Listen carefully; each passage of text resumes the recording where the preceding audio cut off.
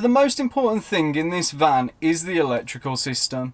We use electrics for heating, for cooking, for making hot drinks, and also for charging our electronics like phones, laptops, cameras, things like that. So in our van, the electronic system is one of the biggest priorities we had when designing what van we wanted. Now, not only did our electrical system have to account for all the electronics that we use day to day, but we also wanted it to be able to go off grid with the sort of lifestyle that we live. So we wanted to be able to not run risks when cooking, using heating, using laptops and things like that. So we had to make sure it was robust enough to be able to cope with these things whilst going off grid for say anything from three days to a couple of months. So in this video, we're actually going to go into detail with why we actually decided to go with an all electric conversion in this van and how we come up with a design that works for us and then at the end of the video, we're going to go through what were the components that we actually chose. And hopefully at the end of the video, it might help you get an informed decision if you're converting a camper van or thinking about electrical system.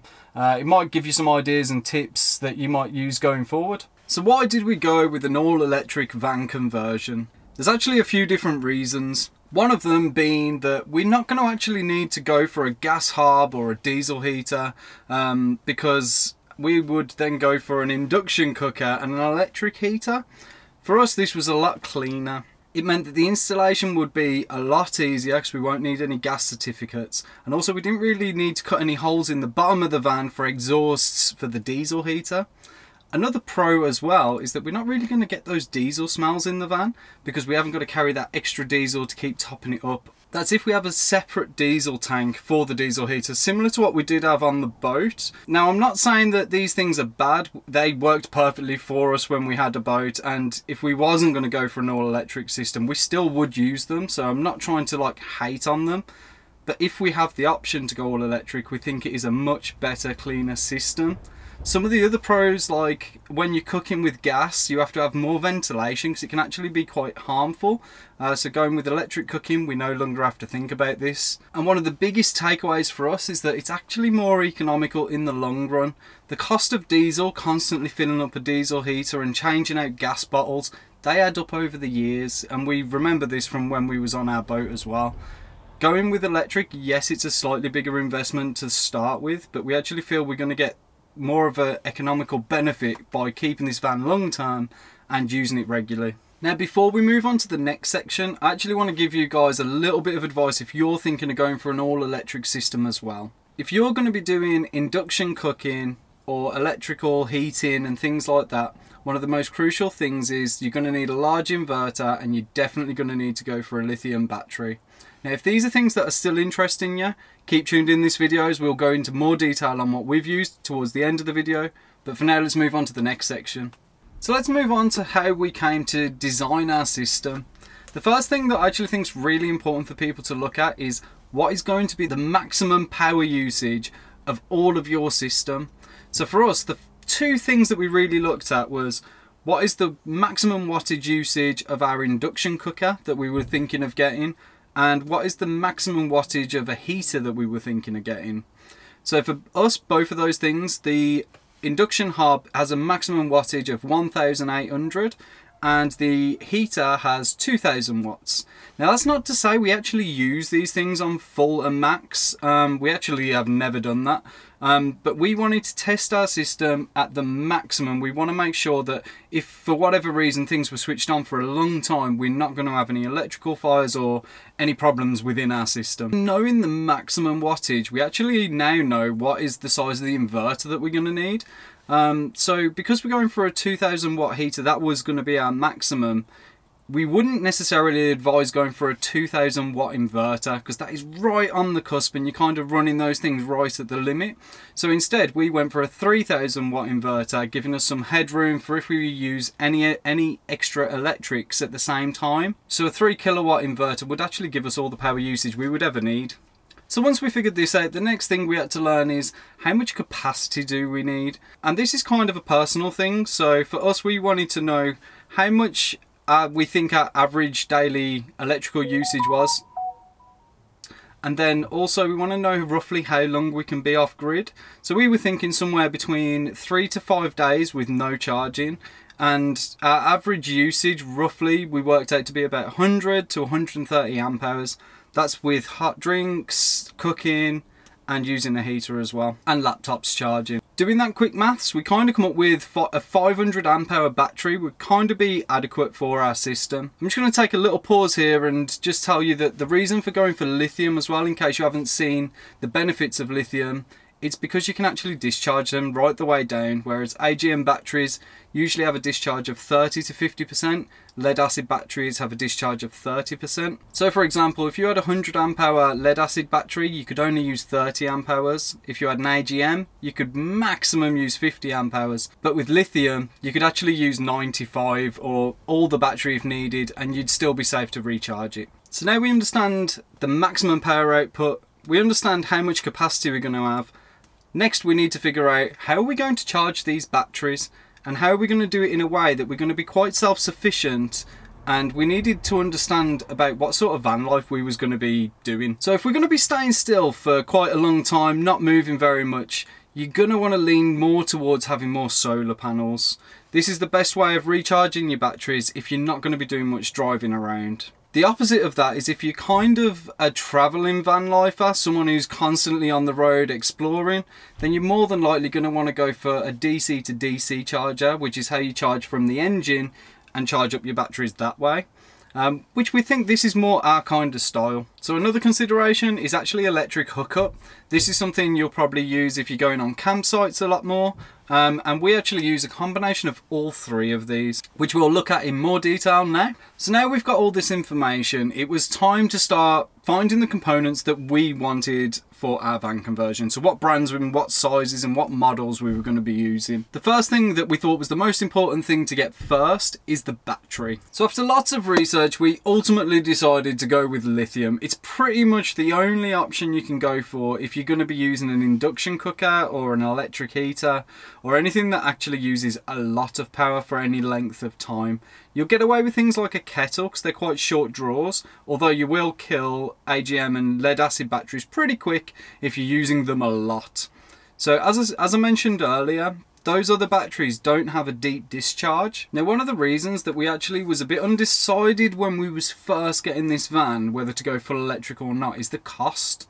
And on our boat we actually had AGM batteries. We had 400 amp hours of AGM batteries uh, which actually gave us 200 amp hours of usable battery. Now if you look at this table I'm actually going to break down the cost benefits of AGM, lead acid and lithium and where you actually see the return coming back off lithium batteries.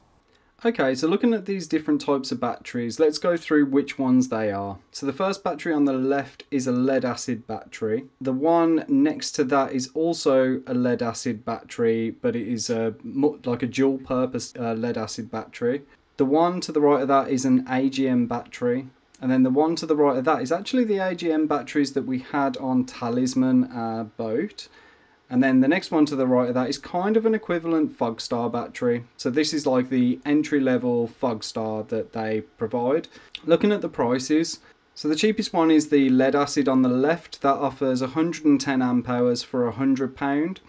Then the next one up from that is 110 pound. That is on offer from 115, but it's also 110 uh, amp hours. So the difference between these two seems to be that the one will last a little bit longer with the cycles. The cheapest one has 300 cycles and then the slightly more expensive one is 400 cycles. But they are sealed, wet, flooded batteries. So the AGM, they're 140 is the 110 amp hour, which is kind of the equivalent size. Uh, so it's an extra 30 pound.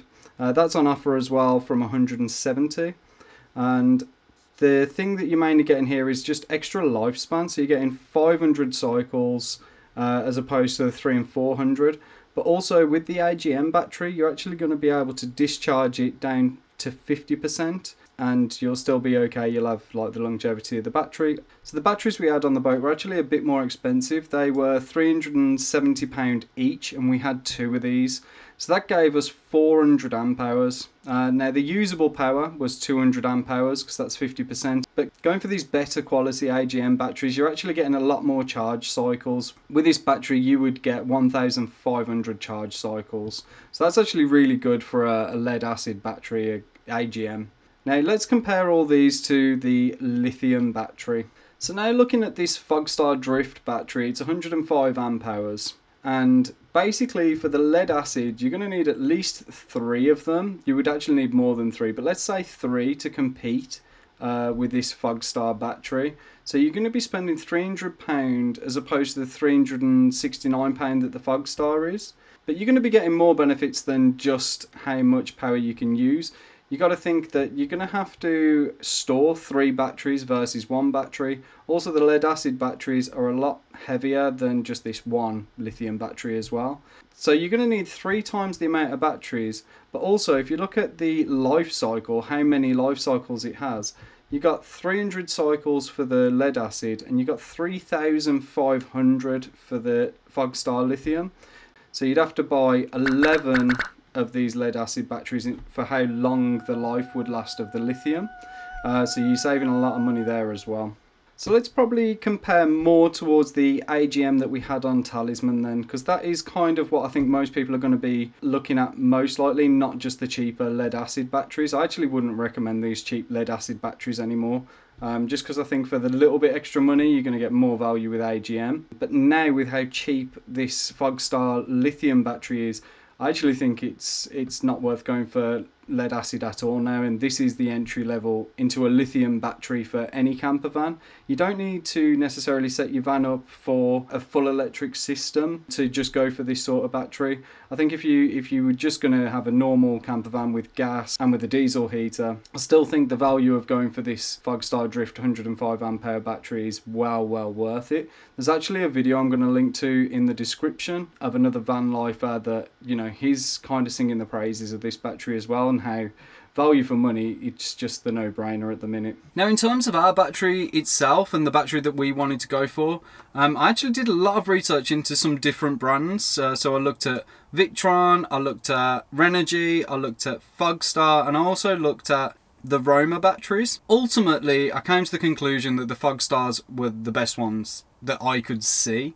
Uh, I thought they had the best BMS. I also really liked the heating element that they have in them, and I really like the app the aftercare, the warranty, all those things, it just seemed very, very good value for money. There's actually some really good videos on YouTube already of people um, doing a breakdown on a Fogstar battery and this is kind of what solidified it for me. I watched these videos and then I was like, right, I'm going to contact Fogstar myself and I'm going to ask some extra questions just to make sure that I'm doing the right thing within our conversion. And it was when we contacted them that they were actually interested in doing a collaboration with us. So we were definitely going to buy this battery anyway. But again, just want to thank Fogstar for all the support, all the information, and also for the collaboration with our battery. So if you want to see the battery that we actually got, check the link below. They've actually come out with a new version recently as well, and that's pretty tasty. So I'd maybe look at those as well because they have some extra benefits that might suit you. It's like the pro version. So the battery we got from Fogstar is a 12 volt 560 amp hour lithium battery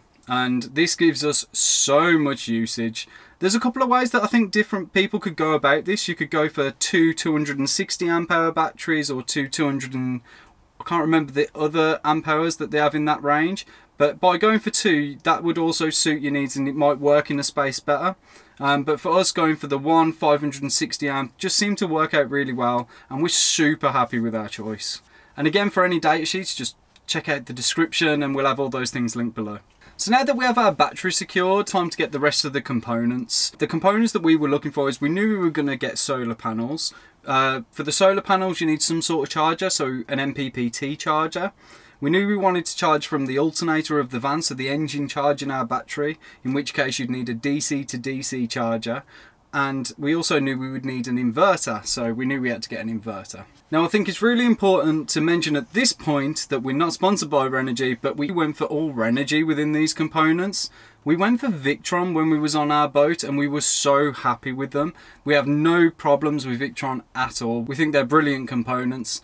But the Renogy are just more economical, they are at a lower price point. The reason we didn't go for Renogy on our boat at first is they were still kind of new on the market and I didn't really want to put something on a boat going across an ocean that I wasn't 100% confident with, whereas I knew the Victron was bulletproof in the van. I actually wanted to give them a try. I have a friend that had used Renogy on his boat and he was screaming the praises. So that's why we went for Renogy with these components. So I'll just give you a very quick rundown into what models and stuff that we chose within them. So going back to the solar panels, we actually used the same solar panels that we had on our boat. On our boat, they basically kept us going when we were crossing seas and sailing everywhere. So we went for 200 watts of solar. This was plenty when we was on the boat and we feel it'd be plenty while we're in the van. The next thing is the charger for that and because we knew we were going to have a DC to DC charger, Renogy actually do a combined unit. And because we knew we were going to be the type of people that drove a bit more, we went for the higher amp charger. So there's actually a combined DC to DC charger and MPPT in one unit. And that's the one we went for. So far, been absolutely brilliant, super happy with it. One of the things I'd actually mention about this about this charge controller is that if you're driving and you're charging from solar as well, I feel that it actually reduces how much juice you get in. Whereas if you just switch the solar off and when you're driving just use the alternator, you get the full 50 amps charge. And the last thing on the list is the inverter. Now as I mentioned earlier, we knew that we would need to go for the 3000 watt inverter. Renogy actually has two different options. The first option is just an inverter. They do a 3000 watt inverter and it's actually quite well priced in the market. And the second option that they have is an inverter charger.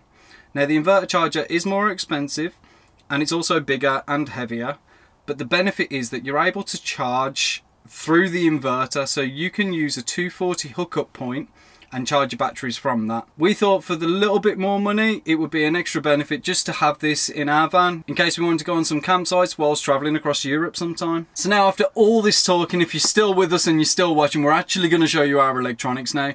Uh, so we're just going to walk through where everything is, how we've set it up. Uh, by no means is this a follow this exactly. I don't want the responsibility. I'm not an electrician, but hopefully it gives you some insight, some inspiration, and makes you feel like that maybe you could do this yourself. Okay, so let's start with how we get our energy. Um, so first of all, we have two solar panels. These are made by Renogy and they are 100 watts a piece. So in the middle, that's where we have our connectors going down and then we have the gland which takes it into the van. And then once in the van, we've got our electric panel right in front of us. Uh, on the left, you can see we've got the switch for the solar panels. Um, and then right above that, they go into the MPPT, which also has the DC to DC charge. I haven't actually recorded it in this video, but it's just some cables that go to the engine battery. So now from this charge controller, uh, via a fuse, we head to the bus bars. These act as terminal points for our battery, so it stops us overloading the lugs on the battery. Uh, underneath this uh, electrics panel we have the switch for the inverter and we also have the consumer unit here but hidden underneath is actually where we keep our battery. Now access here isn't the best but it actually made the most sense to have the battery really close to the rest of the electronics. This meant that we wouldn't have any long cable runs and we wouldn't need to get larger cable to account for any voltage drops. So now looking back in the electric box, we can see that these bus bars actually lead to a 12 volt fuse box. This powers the ceiling spotlights, our sink pump and also a little USB. Uh, next to that we actually have the shut off switch for the main battery. Uh, that's the red switch just on the right there. And then next to that we actually have the cables that lead down to the inverter. You can see there's a big 300 amp fuse on that as well. Now being a 3000 watt inverter, we actually wanted to try and keep it as close to this fuse box as possible. Again, reducing the need for thicker cables and voltage drops. Um, so this is literally less than a meter away. So this model itself is the Renogy 3000 watt inverter charger. Uh, so it has the capability of not only putting out 240 volt, as you can see we've got one plug socket there just next to it, but also it can charge the battery system having that uh, extra charging functionality. Now next to our inverter and just under this desk we have our little wine fridge. This is um, just to basically keep some essentials on, in the van and just keep things cool. Now one thing that I think is quite important to show is the consumer unit. Um, if you have an inverter, it's heavily advised to have one of these. They basically protect your 240 circuits. Um, so yeah, it's basically a switchboard similar to what you find in a house. Now this little thing next to the consumer unit, that's a Bluetooth module that plugs straight into the Renogy DC to DC MPPT charger. and then that on the left, that's the on-off switch for the inverter. Now we also have 240 volt on the opposite side of the van, so this is fed over the ceiling and then it comes down this side and leads to two plug sockets we have under this counter which we plug the kettle in, the induction cooker and anything else we'll need as well. We also put this little hole in which is quite smart and that just enables us to be able to put plugs in and out of that little cupboard just so we can use the utensils on the surface. Now also coming down from the ceiling is we have a 12 volt line and this just goes into a little 12 volt fuse box. Now wide into this we have the ceiling fan, both of the LED strip lights and also the USB plugs that are towards the back of the van as well. Now as for the rest of the lights we have four spotlights in our ceiling. These are touch dimmable and also obviously touch on and off. Um, they're really low wattage, but they give out a really nice quality warm light. Um, and we just kind of like the aesthetic on these in the van as well. So we're really happy with these. So now I'm just going to show you a test that we did uh, boiling a kettle. You can see that this kettle's using around 1200 watts and also the information on the app that you can see is time remaining. So this is the time remaining if we if the power was being drained at this rate continuously. Uh, it also shows you how many amps you're using. Now at the start of this uh, we had 552.8 amps and at the end of it we have 545.4 so the total usage for this kettle to boil was 7.4 amp hours and it took us from 99 to 97%. Total time taken to boil the kettle 4 minutes 42 seconds. So now that you've seen all of our system, let's break down the cost. Now our battery was sponsored, but if we included the cost of the battery into our van plus the conversion, so the total cost of absolutely everything, it'd be around the 6,700, 6,800 price mark. Taking the battery out of that, we probably spent about £5,000. That includes buying the van for 1800 and the rest of the conversion being everything that was left over. Now I know some of you have probably watched this video and thinking, how much have you spent on the electronics?